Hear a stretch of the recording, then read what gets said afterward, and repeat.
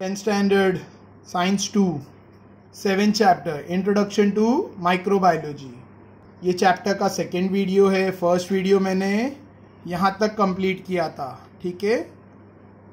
Probiotics में treatment of poultry तक, ठीक है? Second video we are continuing from bread page number seventy nine bread different types of breads are produce from flour of cereals अलग अलग type का bread बनता है, आटे से। फ्लोर मतलब आटा। आटा जो पीस कर निकलता है, दाना। ठीक है, दाना यहाँ पे गेहूँ है। ब्रेड गेहूँ के दाने को पीस कर जो आटा बनता है, या चावल को पीस कर, ठीक है राइस है, गेहूँ है बार्ली है मेज़ है, ठीक है, ये सब सीरियल्स है। इनको चक्की बोलते चक्की में पीस कर उनका आटा बनाया जाता है, यानी पाउडर किया जाता है उसको, ठीक है। और फिर वो आटे को गूंद कर डॉज बनाया जाता है। ठीक है? डॉज। आटा गूंद कर गूंदा हुआ आटा, जो पानी वगैरह डालकर गूंद कर रोटी बनाने के लिए जैसा गूंदा जाता है, वैसे यहाँ पर ब्रेड बनाने के लिए भी आटे को गूंदा जाता है। तो dough is form by mixing of baker yeast dough कैसे बनता है? उसमें क्या मिक्स करते हैं?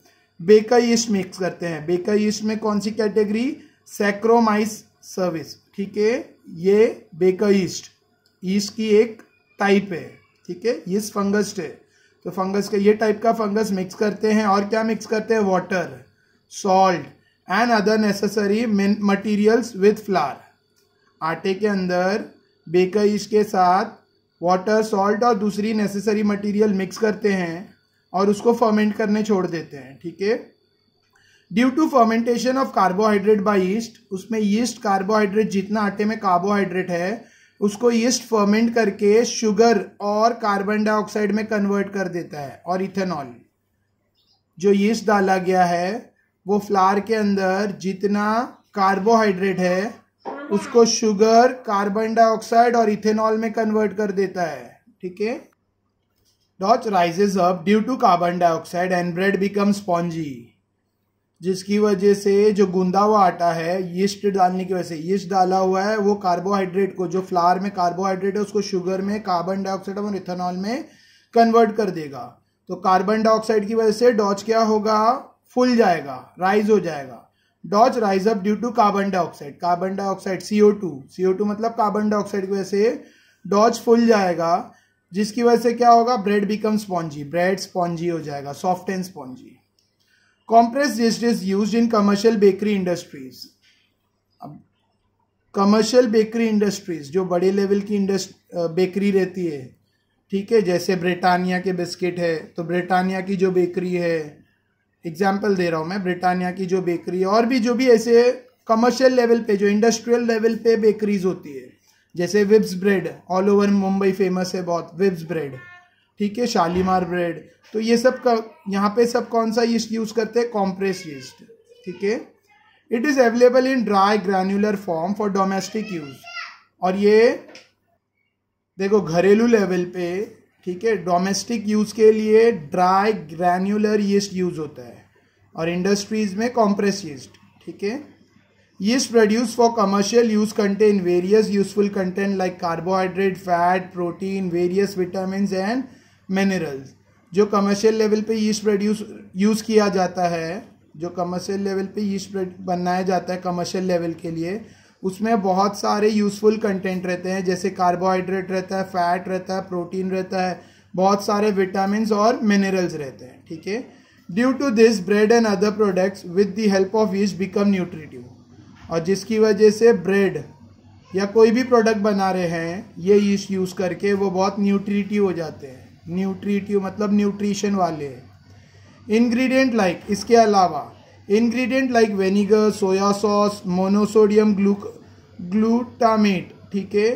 जिसको अजोनोमोटो भी कहते हैं Ajinomoto that are use in presently popular Chinese food are produce by microbial fermentation इसके अलावा माइक्रो ऑर्गेनिज्म की मदद से फर्मेंट करके माइक्रोबियल फर्मेंटेशन के थ्रू और भी बहुत सारी चीज़ें बनाई जाती है, जैसे vinegar soya sauce monosodium glutamate ठीक है?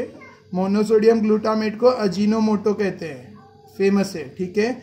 ये सारी चीज़ें चाइनीज़ फ़ूड में यूज़ होती है, ठीक है? ये भी माइक्रोबियल फर्मेंटेशन से बनाई जाती है। तो इसमें पहला how to make vinegar vinegar कैसे बनता है? वेनिगर ठीक है? Vinegar is use in each country of the world to impart sour taste to food material and for preservation of pickle sauce ketchup chutneys etcetera all over the world vinegar use होता है sorry test produce करने में। खाने में थोड़ा सा sorry test produce करने के लिए vinegar all over the world पूरी दुनिया में यूज़ होता है। इसके अलावा वो प्रिजर्वेशन के लिए भी यूज़ होता है। प्रिजर्वेशन मतलब लाइफ बढ़ाने के लिए।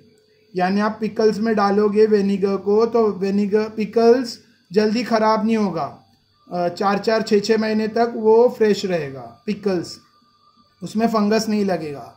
क्यों? क्योंकि प्रिजर्वेटिव डाला हुआ है। आप देखो, दुकान से कैचअप्स लाते हो टमाटो कैचअप्स है ना, Maggi tomato ketchup etcetera Kissan tomato ketchup तो वो जल्दी स्पॉइल नहीं होता है, क्योंकि अंदर, उसके अंदर प्रिजर्वेट प्रिजर्वेटिव डाला होता है। यानी कीटनाशक, ठीक है? कीटनाशक नहीं बोलेंगे उसको प्रिजर्वेटिव रहता है, यानी एंटी एंटी माइक्रोबियल सब्सटेंस ठीक है, जो माइक्रो ऑर्गेनिज्म के ग्रोथ को अलाउ नहीं करता। वैसा प्रिजर्वेटिव तो क्या डाला जाता है प्रिजर्वेटिव के तौर पर? वेनिगर जो चाइनीज़ फ़ूड में डाला जाता है।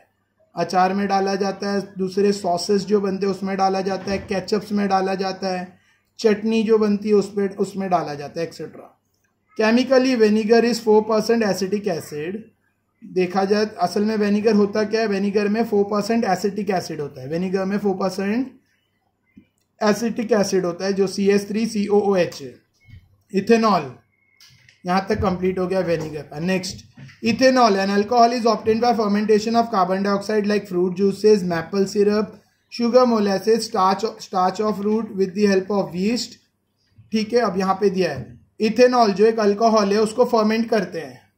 अल्कोहल को फर्मेंट करके प्रोड्यूस किया जाता है। देखो, इथेनॉल, जो एक टाइप का अल्कोहल है। अल्कोहल के ग्रुप में से एक इथेनॉल है। अल्कोहल के ग्रुप में इथेनॉल है प्रोपेनॉल है ब्यूटेनॉल है पेंटेनॉल है हेक्सेनॉल है। मैं आपको नाम बता रहा हूँ। तो अल्कोहल में एक फ़र्स्ट वाला जो मेंबर है, वो है इथेनॉल। तो इथेनॉल कैसे ऑप्टेंड होता है? By fermentation of carbon compound carbon compound को फर्मेंट करते हैं। कार्बन कंपाउंड जैसे फ्रूट जूसेस या मैपल सिरप, या शुगर मोलासिस, ये सबको फर्मेंट किया जाता है, ठीक है? या स्टार्च ऑफ़ रूट्स रूट का स्टार्च देखो स्टार्च ऑफ़ रूट तो आपको मैं एग्जांपल दूँगा पोटैटो है स्टार्च ऑफ़ रूट में। फिर स्वीट पोटैटो है, जो रेड कलर का रहता है, रत्तालू कहते हैं। शुगर मोलासेस में शक्कर के, आप बोल सकते हो शुगर मोलासेस वो शुगर के दाने, ठीक है? मैपल सिरप ठीक है? मैपल सिरप है फ्रूट जूसेस है। ये सबको फर्मेंट करेंगे। किसकी मदद से फर्मेंट करेंगे? यीस्ट की मदद से। यीस्ट का नाम क्या है? सेम सेक्रोमाइस सर्विस इसको इससे आप इससे हम लोग फॉर्मेंट करते हैं और क्या बनाते हैं? इथेनॉल क्या बनाया जाता है? इथेनॉल जो एक टाइप का अल, जो अल्कोहल है। ठीक है? अल्कोहल अब आपने सुना ही होगा कि वाइन बनती है वाइन्स वाइन शुगर या ग्रेप जूस से ग्रेप वाइन्स बनती है, राइस से राइस वाइन बनती है एक्सेट्रा तो वो यही प्रोसेस है, ठीक है? Mixture of bacterial strain like acetobacter gluconobacter is mixed with ethanol for its microbial degradation फिर इसके बाद इथेनॉल के अंदर ये बैक्टीरियाज ऐड कर सकते हैं। ऐड किए जाते हैं जिसका नाम है एक्टोबैक्टर और ग्लूकानोबैक्टर ये बैक्टीरिया इथेनॉल में ऐड किए जाते हैं। Acetic acid and other by products are obtained through it और उससे फिर क्या मिलता है? एसिडिक एसिड मिलता है और दूसरे एक्सेट्रा प्रोडक्ट्स मिलते हैं बाई प्रोडक्ट्स एक्स्ट्रा प्रोडक्ट्स ठीक है? Acidic acid plus some product मिलते हैं। Acidic acid is separated from mixture to by rarefaction और रेरिफैक्शन करके एसिडिक एसिड को अलग कर देते हैं मिक्सचर से। Acidic acid is bleach with the help of potassium ferrocyanide फिर एसिडिक एसिड को पोटेशियम फेरोसाइनाइड से ब्लीच करते हैं। Then it is pasteurize finally very small quantity of SO two gas is mix to produce vinegar ठीक है? तो पूरा production of vinegar है। ठीक है? ये पूरा प्रोडक्शन ऑफ़ वेनिगर है कि वेनिगर कैसे प्रोड्यूस हो रहा है? सो so, पूरा प्रोसेस है कि वेनिगर कैसे बनता है? तो स्टार्ट कहाँ से होता है? सबसे पहले कार्बन वाले कंपाउंड सबसे पहले, देखो यहाँ से स्टार्ट हो रहा है from page number seventy nine last line सबसे पहले अल्कोहल को फर्मेंट करते हैं। ठीक है? अल्कोहल अल्कोहल ऑप्टेंट करते हैं कार्बन कंपाउंड्स को फर्मेंट करके। ठीक है? कार्बन कंपाउंड्स जैसे कि fruit juice maple syrup sugar molasses starch root etcetera ये सबको यीस्ट यूज़ करके। यीस्ट कौन सा यीस्ट इसका नाम दिया है सार्को सेखारोमाइस सर्विस ठीक है? इसको यूज़ करके कार्बन कंपाउंड को फर्मेंट करते हैं और इथेनॉल बनाते हैं इथेनॉल एक बार इथेनॉल बन गया तो आगे का प्रोसेस यहाँ दिया है। इथेनॉल बनने के बाद उसके अंदर क्या डालते हैं? बैक्टीरिया बैक्टीरियल स्ट्रेन कौन से बैक्टीरिया डालते हैं? एक्टोबैक्टर और ग्लूकानोबैक्टर ठीक है? इथेनॉल के साथ मिक्स करते हैं ताकि इथेनॉल डिग्रेड हो। इथेनॉल डिग्रेड होने पर क्या प्रोड्यूस होता है? एसिटिक एसिड एसिटिक एसिड और कुछ दूसरे प्रोडक्ट फॉर्म होते हैं, ठीक है? फिर रेरिफेक्शन करके एसिटिक एसिड को अलग मतलब अलग करते हैं सेपरेट कर देते हैं। रेरिफेक्शन मतलब एक प्रोसेस है जिसके through a process through which the density of a substance is increase ठीक है? एयर या एयर या लाइट के थ्रू ठीक है? सेपरेट करते हैं। ऑल राइट एसिटिक एसिड को। It is a process all right ये एक प्रोसेस है सिंपल जो एसिटिक एसिड को सेपरेट करते हैं अदर बाय प्रोडक्ट से। ये एक प्रोसेस है जिसके थ्रू जिसके, जिसकी मदद से एसिटिक एसिड को दूसरे बाय प्रोडक्ट से सेपरेट किया जाता है।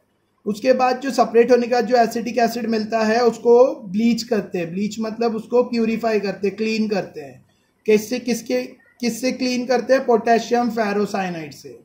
ठीक है? और फिर जो फाइनली एसिटिक एसिड मिलता है, उसको पेस्चराइज करते हैं। पेस्चराइज मतलब हाई टेम्परेचर तक गर्म करते हैं और फिर कूल होने रखते हैं। This is called pasteurize pasteurize क्यों किया जाता है? ताकि उसके अंदर जो भी लाइव बैक्टीरिया एक्सेट्रा हो, वो किल हो जाए। ठीक है?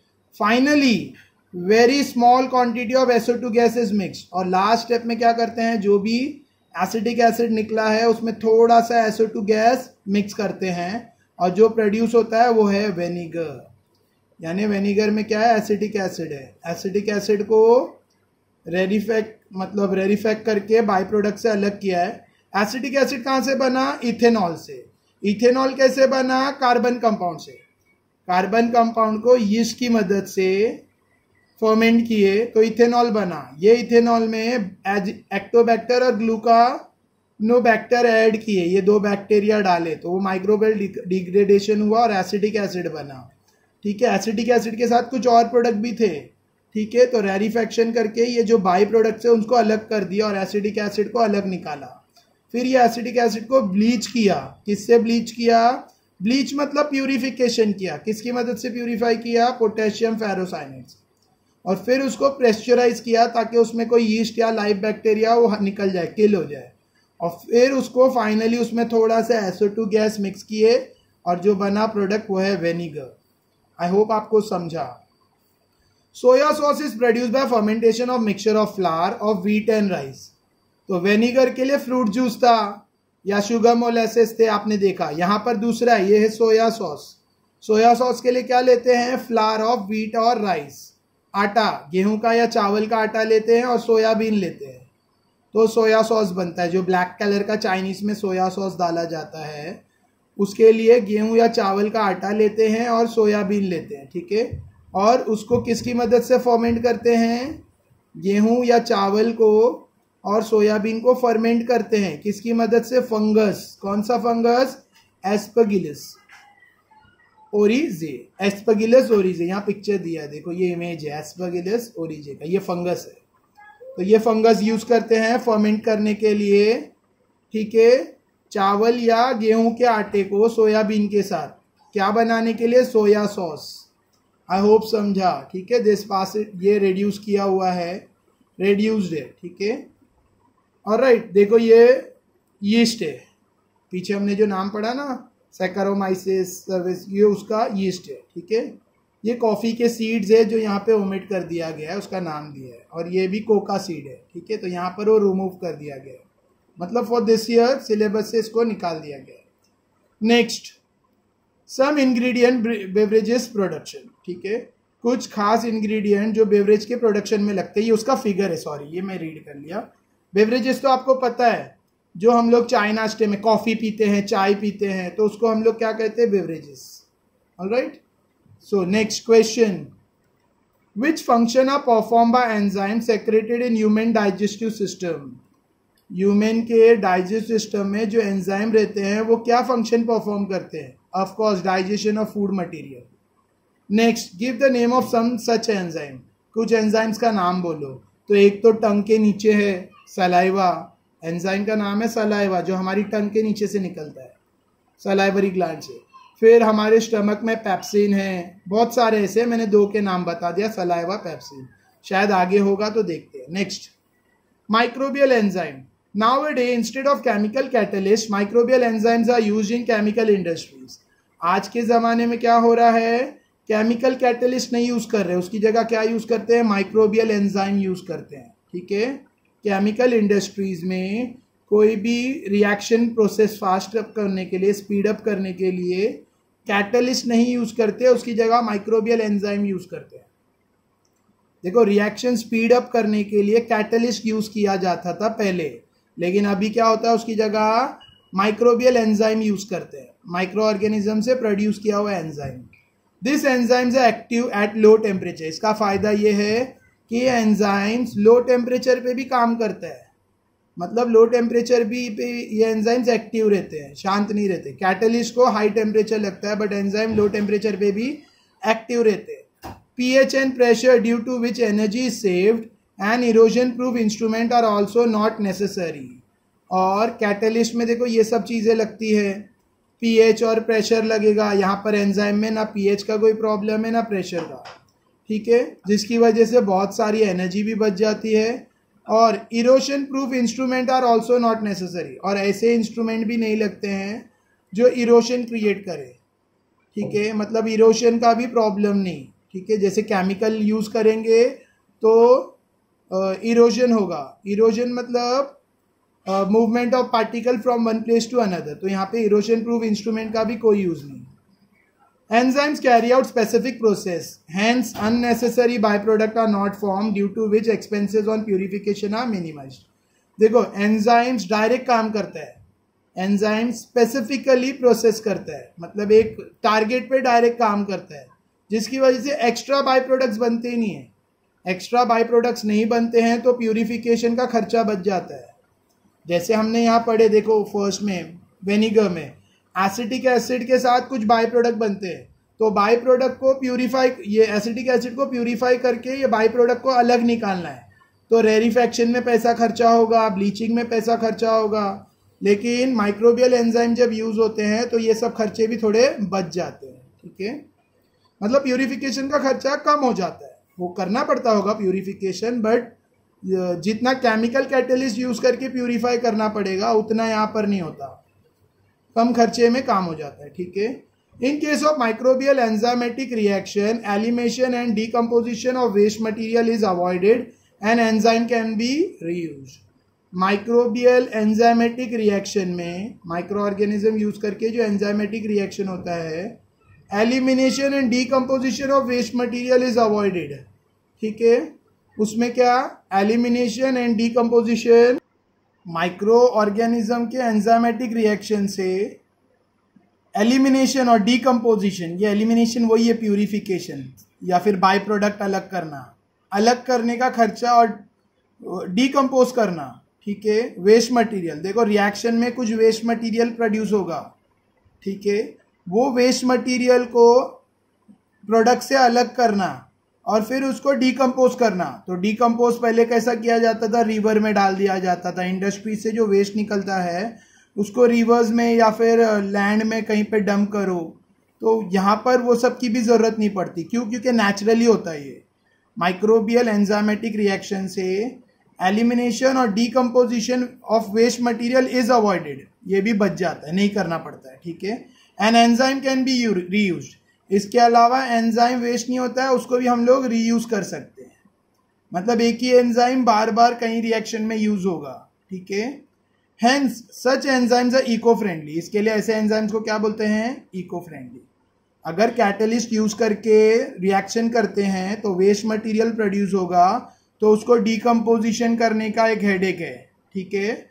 और उसको एलिमिनेट करने का भी मतलब रिएक्शन को प्यूरिफाई करके उसको एलिमिनेट करना सेपरेट करना भी एक हेडेक है। एलिमिनेट वेस्ट प्रोडक्ट को निकालना सेपरेट करना और डीकम्पोज करना, ये दो प्रॉब्लम बच जाएँगे। माइक्रोबियल एंजाइमेटिक रिएक्शन की वजह से, ठीक है? और तीसरा और एक फ़ायदा ये कि एंजाइम फिर से रीयूज कर सकते हैं। Hence such enzymes are eco friendly इसके लिए ऐसे एंजाइम्स को क्या कहते हैं? इको फ्रेंडली ठीक है? Nature friendly some example of microbial enzymes are oxide oxidoreductases कुछ एग्ज़ाम्पल है माइक्रोबियल एंजाइम्स के कुछ नाम दिए हैं। पहला नाम है oxidoreductase transferase hydrolase lyases isomerase ligase etcetera ठीक है? नेक्स्ट यहाँ तक समझा आपको। नेक्स्ट अभी डिटर्जेंट में भी डाला जाता है, देखो enzyme process of dirt muck removal occurs at low temperature to due to mixing of enzymes with detergent अगर एंजाइम्स को इंडस्ट्रीज़ में, अगर डिटर्जेंट में एंजाइम्स को मिक्स कर दिया जाए, ठीक है तो लो टेम्परेचर पे ही वो डिटर्जेंट ज़्यादा एक्टिव हो जाता है और लो टेम्परेचर पे ही डर्ट मक निकल जाएगा। यानी डर्क स्टेन डिटर्जेंट में जब कपड़े धोएँगे तो पानी गर्म नहीं, ठंडा पानी रहेगा तो भी आसानी से गंदगी क्लीन हो जाएगी। क्यों? क्योंकि वो डिटर्जेंट में अगर एंजाइम मिक्स किया हुआ है तो। Next glucose and fructose syrups can be obtained from corn flour by action of enzymes इसके अलावा एंजाइम के एक्शन से ग्लूकोज फ्रुक्टोज सिरप निकाला जा सकता है कौन के आटे से। कौन मकाई। मकाई के आटे से, मक्का के आटे से ग्लूकोज फ्रुक्टोज सिरप एक्सट्रैक्ट किया जा सकता है by enzymatic reaction by enzyme microbial enzymes ठीक है? बाय एक्शन ऑफ़ एंजाइम्स ठीक है obtained from bacilli and streptomyces अब ये एंजाइम का नाम एंजाइम किससे? ये बैक्टीरिया का नाम दिया है। ये दो बैक्टीरिया से जो एंजाइम्स आता है, ठीक है बैसिली और स्ट्रेप्टोमाइस ये दो बैक्टीरियल स्ट्रेन है। इससे जो एंजाइम्स आएगा, उसकी मदद से कॉर्नफ्लावर कॉर्नफ्लावर से क्या निकाला जा सकता है? Glucose and fructose syrups microbial enzymes are used in various industries like cheese plant extract textile paper etcetera इसके अलावा माइक्रोबियल एंजाइम कहाँ यूज़ होता है? चीज़ इंडस्ट्री में plant extract textile leather paper etcetera ठीक है देखो ये क्वेश्चन ऐसा आ सकता है। What are the good effect of enzymes, microbial enzymes. या why microbial enzymes are more preferred than chemical catalyst या ऐसा भी क्वेश्चन आ सकता है। State three state three uses of enzyme या state three good effect of enzyme uses भी आ सकता है। तो तीन चार यूजेस यहाँ पे छः सात यूजेस है। ठीक है? पाँच छः गुड यूजेस है। क्या? एक तो लो टेम्परेचर पे डिटर्जेंट से डिटर्जेंट में मिक्स करने से डर्ट मक रिमूव हो सकता है। फिर एंजाइम की मदद से ग्लूकोज और फ्रिक्टोज सिरप निकाला जा सकता है कॉर्नफ्लावर से। ठीक है? फिर उसके और बहुत सारे फ़ायदे हैं। ये इको फ्रेंडली रहते हैं एंजाइम्स इसमें एलिमिनेशन और डिकम्पोजिशन का खिचखिच नहीं है टेंशन नहीं है माइक्रोबियल एंजामेटिक रिएक्शन में। और प्यूरिफिकेशन का भी खर्चा एक्सपेंसेस खर्चा मिनिमाइज हो जाता है। तो बहुत सारे। क्यों? क्यों ऐसा सब होता है? क्यों एंजाइम केमिकल कैटलिस्ट से बेटर है? क्योंकि एंजाइम लो टेम्परेचर पे भी एक्टिव रहते हैं। एंजाइम लो टेम्परेचर पे भी एक्टिव रहते हैं और पीएच और प्रेशर से उन पर कोई इफ़ेक्ट नहीं पड़ता।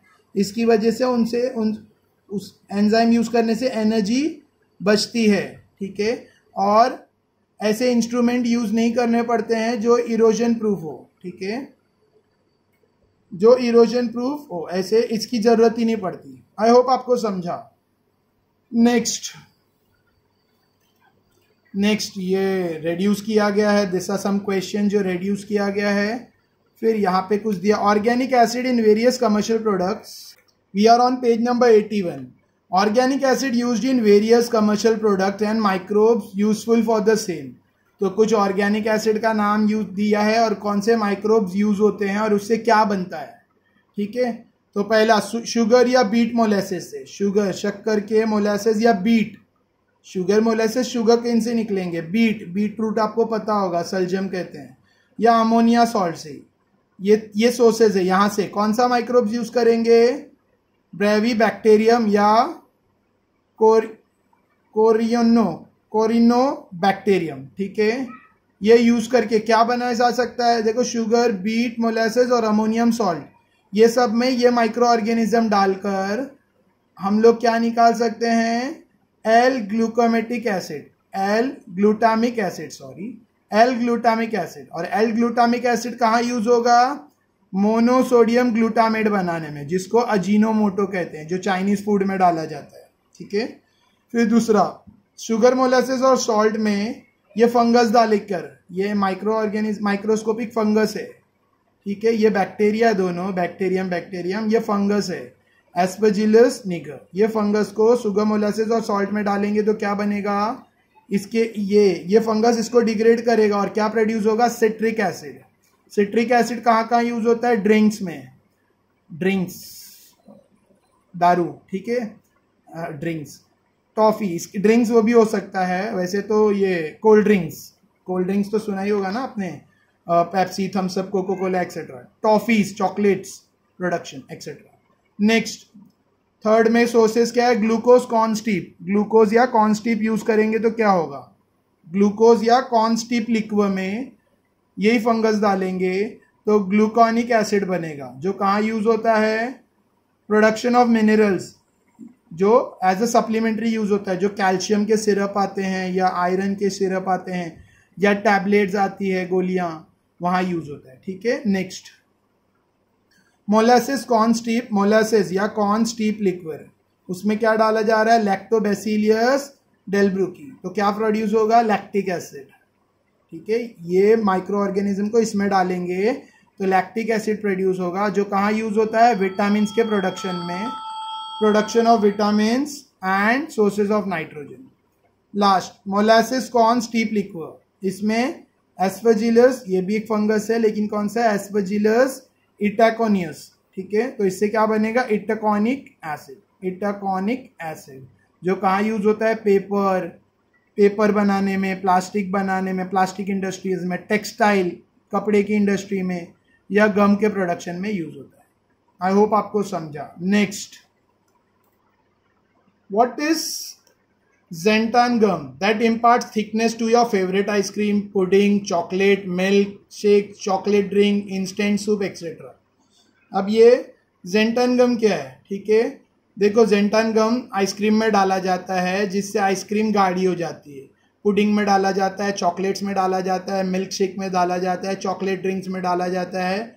और जो सूप्स होते हैं इंस्टेंट सूप्स चाइनीज़ सूप और एक्सेट्रा नॉर सूप, जो टीवी में ऐड आता है एक्सेट्रा उसमें जेंटान गम डाला जाता है तो है क्या xanthan gum this gum is obtained by fermentation of starch and molasses with the help of xanthomonas species ठीक है, ये जेंटान गम कैसे बनता है? थोड़ा सा जूम कर लूँ साइड में ना। अच्छा यहाँ पे एक इमेज दिया है, देख लो आप, ये फंगस का इमेज है। एस्पजीलियस निगर इधर। ये जो फंगस है ना एस्पलिगस एस्पजीलियस निगर तो उसका इमेज दिया है। ठीक है? अच्छा नेक्स्ट सो so, ये ये गम कैसे प्रोड्यूस होता है? तो ये gum by fermentation of starch and molasses starch और मोलेसिस को जो पोटैटो में स्टार्च रहते हैं या राइस स्टार्च या पोटैटो मोलेसिस को फर्मेंट करते हैं। किसकी मदद से फर्मेंट करते हैं? जेंटामोना स्पीशीज की मदद से ठीक है?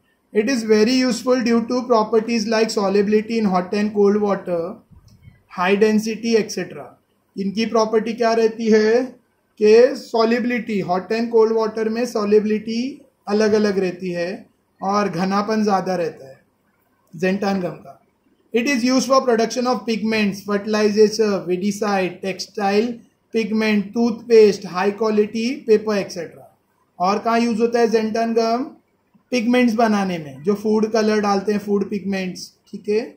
या फिर टेक्सटाइल पिगमेंट कपड़ों को जो रंग चढ़ाते हैं खाने में जो रंग डालते हैं या कपड़ों पे रंग चढ़ाते हैं वहाँ पे यूज़ होता है। वीडीसाइड जो जंगली ग्रास ज, देखो जंगली ग्रास जो खेतों में उगती है उसे वीड्स कहते हैं। तो वो जंगली घास ना हो गए उसके लिए वीडीसाइड्स बना डाला जाता है। वीडीसाइड्स बनाने में जेंटागम यूज़ होता है। इसके अलावा फर्टिलाइज़र जो खाद बनती है खेतों में जो अच्छे से क्रॉप्स उगे उसके लिए जो खाद बनती है फर्टिलाइज़र उसमें भी जेंटान गम यूज़ होता है। फिर हम जो टूथपेस्ट यूज़ करते हैं ब्रश करने के लिए, उसमें भी जेंटान गम यूज़ होता है। इसके अलावा अच्छी क्वालिटी के पेपर बनाने में भी जेंटान गम का यूज़ होता है। ठीक है नेक्स्ट नेक्स्ट टेबल है। सो नेक्स्ट टेबल है, क्या है? सब्सटेंस और उसका यहाँ पे रोल दिया है। ठीक है substance obtained by microbial processing microbial processing करके जो सब्सटेंस पाए जाते हैं और उनका क्या रोल है? तो पहला है सिट्रिक या मैलिक या लैक्टिक एसिड सिट्रिक एसिड या मैलिक एसिड या रिएक्टिक एसिड तो ये कहाँ आता है? टू इम्पार्ट एसिडिटी इससे फ़ूड में इसको फ़ूड में एसिडिटी बढ़ा बना बढ़ाने में या बनाने में यूज़ किया जाता है। दूसरा ग्लूटामिक एसिड या लाइसिन या ट्राइप्टोफैन ये कहाँ यूज़ होता है? प्रोटीन बाइंडिंग ठीक है? बॉडी में जो प्रोटीन बाइंडिंग होता है, वहाँ पे ये सब यूज़ होता है। और इम्पार्ट एसिडिटी फ़ूड में या कोई एसिडिक ड्रिंक है, उसमें मतलब एसिडिटी बढ़ाने में। नेक्स्ट नाइसिन और नेटामाइसिन यह है माइक्रोबियल रेस्ट्रिक्टर यानी माइक्रोबियल को ग्रो होने से रोकता है। नाइसिन या natamycin ascorbic acid vitamin C जिसे कहते हैं, या विटामिन बी ट्वेल्व या विटामिन बी टू ये सब क्या है? एंटीऑक्सीडेंट है या विटामिन की तरह यूज़ होते हैं, ठीक है? Beta carotene lycopenes xanthines lutein, ठीक है? ये सब माइक्रोबियल ये सब एंजाइम्स के नाम है असल में, जो माइक्रोबियल प्रोसेसिंग से निकलते हैं। ये सब क्या है? ये सब एडिबल कलर है। एडिबल मतलब खाने में, खाना, जिसको हम खा सकते हैं। यानी ऐसा कलर जो खाने में डाला जा सकता है। देखो ना, मम्मी कभी खाना बनाती तो रेड बनता है, कभी ग्रीन बनता है। या होटल्स का आप मोस्टली खाना देखो, उसमें एडिबल कलर डाला जाता है, खाने वाले कलर्स ठीक है? एडिबल कलर्स तो एडिबल कलर्स ये सब एंजाइम से बनते हैं, ठीक है? नेक्स्ट, पॉलीसेक्राइड्स या ग्लूकोलिपिड। पॉलीसेक्राइड्स या ये क्या है? इमल्सीफायर है। पॉलीसेक्राइड या ग्लूकोलिपिड्स क्या है? इमल्सीफायर। इमल्सीफायर मतलब आइसक्रीम और केक में डाला जाता है उसको जमाने के लिए। आइसक्रीम, केक, जेलीज, जेली जो रहती है ना, जैम वगैरह उसमें डाला जाता है, emulsifier. Vanillin, ethyl ethyl butyrate, यानी fruit flavour.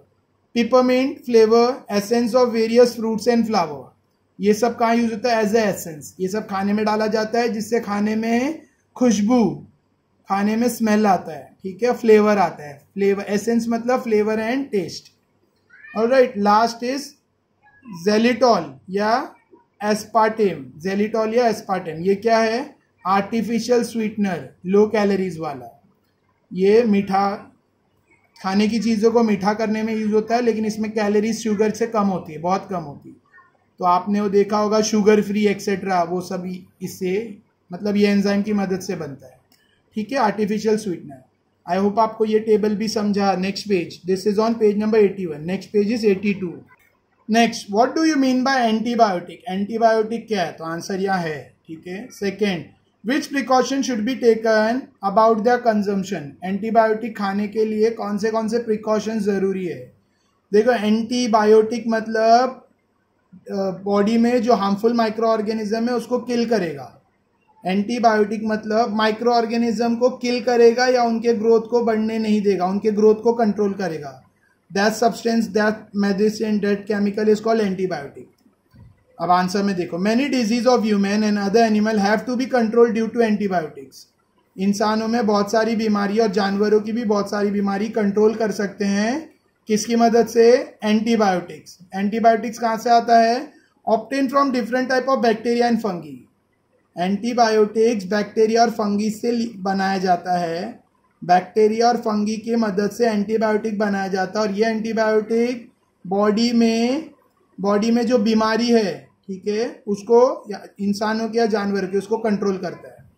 Antibiotic like penicillin cepha cephalosporin cephalosporin monobactam bacteriocin erythromycin gentamicin neomycin streptomycin tetracycline vancomycin etcetera are use against various strain of gram positive and gram negative bacteria ठीक है?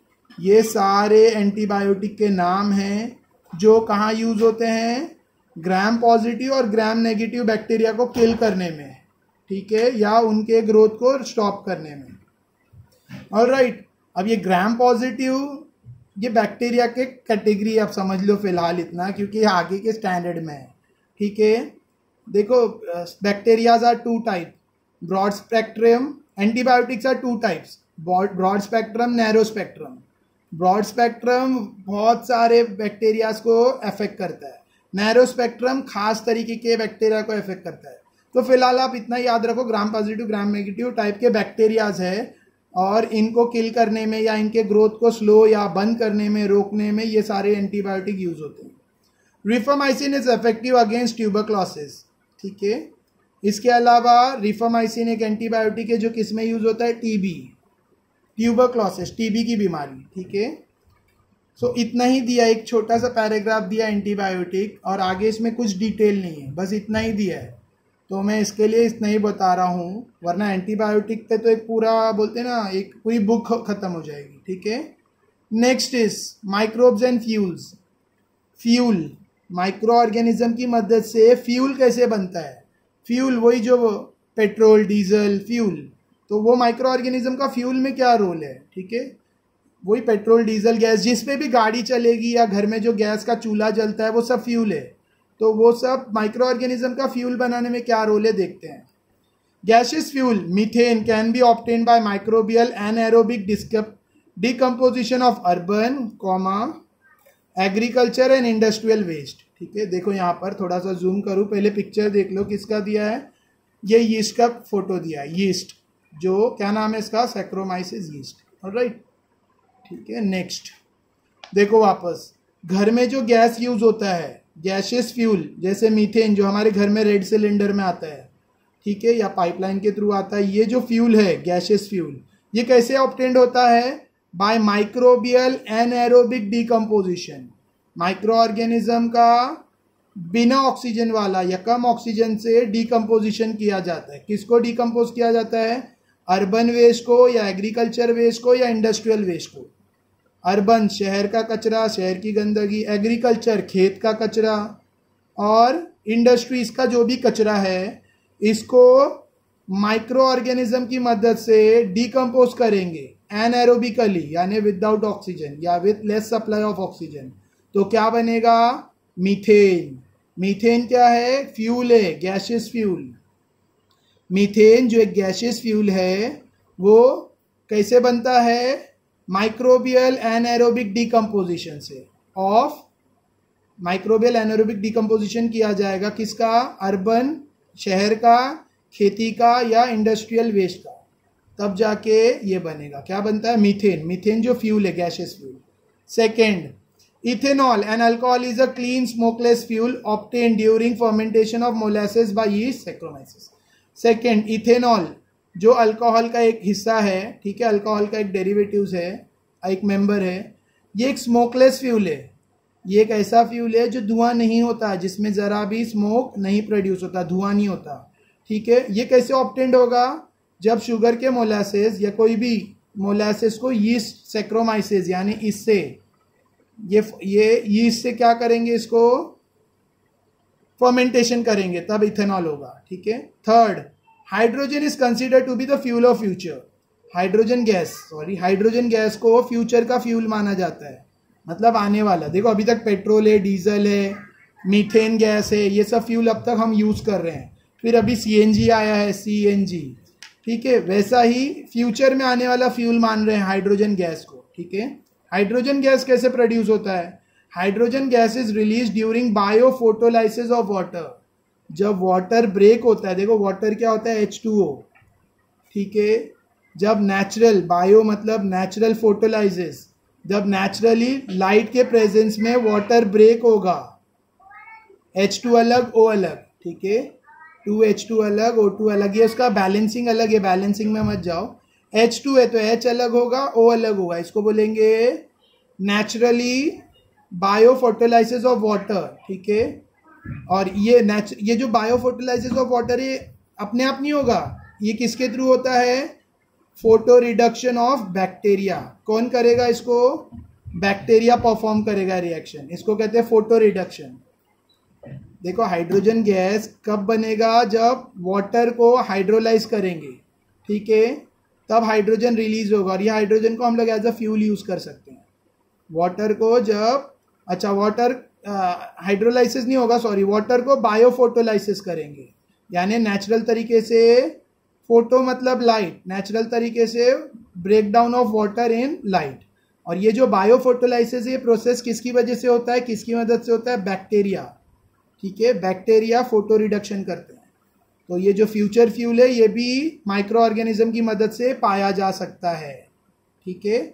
Last मतलब आज के video का last I am stopping the video over here फिर next part में फिर continue करेंगे because video have cross a forty minutes so this is the last paragraph of today's video या similar to fuel various industrial chemicals are also produce through microbial process fuel के जैसे ही दूसरे भी industrial chemical produce होते हैं micro microbial process यानी micro organism की मदद से। Example various alcohol acetones organic acid fatty acid polysaccharides so ये सब केमिकल इंडस्ट्रीज़ में यूज़ होते हैं as a raw material organic acid fatty acid polysaccharides alcohol acetones ये सब केमिकल इंडस्ट्रीज़ में यूज़ होते हैं एज अ रॉ मटेरियल और कुछ कुछ कहाँ यूज़ होते हैं?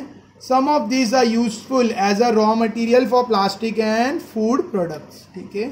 और कुछ प्लास्टिक या फ़ूड फ़ूड प्रोडक्ट के रॉ मटेरियल में भी यूज़ होता है। आई होप समझा आपको, ठीक है? नेक्स्ट सो नेक्स्ट वीडियो में हम लोग बायोफील का प्रोडक्शन अच्छे से देखेंगे। We have finished over here अगर आपको वीडियो अच्छा लगा हो तो शेयर करो, ठीक है? लाइक सब्सक्राइब तो करोगे ही, हो ही जाएगा ऑटोमेटिक जिसको वीडियो अच्छा लगा वो करेगा, ठीक है? क्योंकि आगे का वीडियो देखना है। बेल आइकन प्रेस करो एक्सेट्रा बट शेयर करो। All right thank you